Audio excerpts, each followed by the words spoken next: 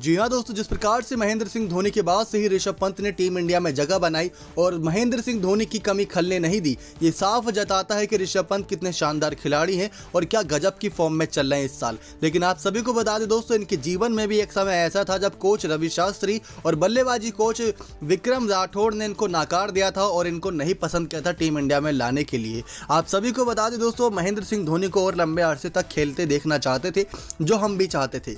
और इसी के साथ साथ ऋषभ पंत को उन्होंने शुरुआत में कुछ मौके दिए थे।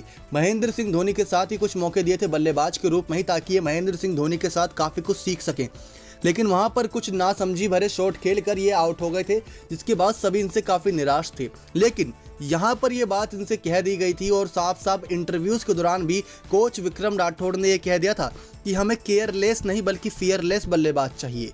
जी हाँ दोस्तों, उन्होंने इशारों ही इशारों में पंथ के बारे में अपनी राय साफ़ कर दी थी और सभी युवा क्रिकेटरों को समझाना चाहा था कि लापरवाही तरीके से अगर शॉट खेलेंगे तो उनकी टीम इंडिया में कोई जगह नहीं है। अगर वो केयरलेस ना होकर फियरलेस होकर बल्लेबाजी करते हैं तो टीम इंडिया दोनों हाथों खोल के बाहें फैलाकर इनका टीम इंडिया में स्वागत करती है। और टीम को ऐसे ही खिलाड़ी की तलाश जो फियर फैक्टर यानी कि एक एक्स फैक्टर के रूप में साबित हो और सामने टीम के अंदर एक फियर बैठा दे अपना।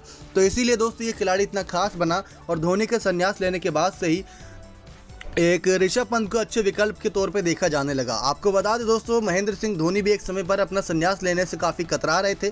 कतरा इसलिए रहे थे क्योंकि उनको बहुत ज़्यादा इस बात की दिक्कत थी कि उनके जाने के बाद टीम इंडिया की कमान कौन संभालेगा। तो दोस्तों, आपने देख ही लिया कि महेंद्र सिंह धोनी के जाने के बाद सही ऋषभ पंत ने शानदार बल्लेबाजी करते हुए और साथ ही साथ दिल्ली कैपिटल्स के लिए कप्तानी करते हुए कई मौके पर अकेले दम पर मैच जिताया।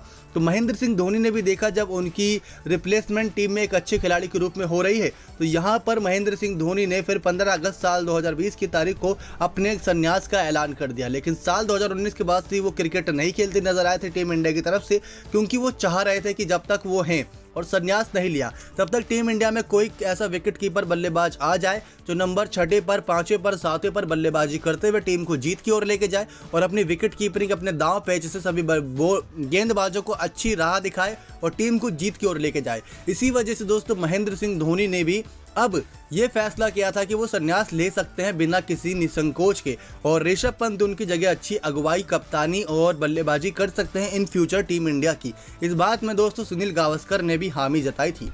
नेक्स्ट नाइन स्पोर्ट्स से दीपक की रिपोर्ट।